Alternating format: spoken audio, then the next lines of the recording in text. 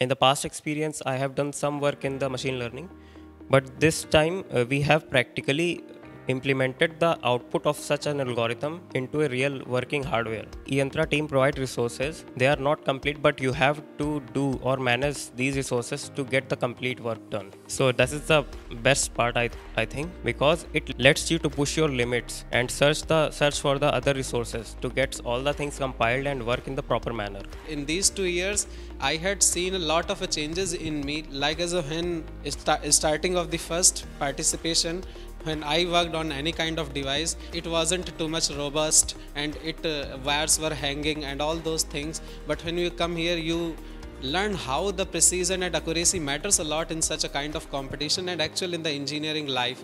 It builds you a kind of engineer in you. Based upon the last year my participation in the EYRC 2017 my team has secured the second rank in that theme. And based upon that the, I was offered an internship at IIT BHU under the professor in the subject related to the inter, internet of things and machine learning. So that was what the eYantra has provided to me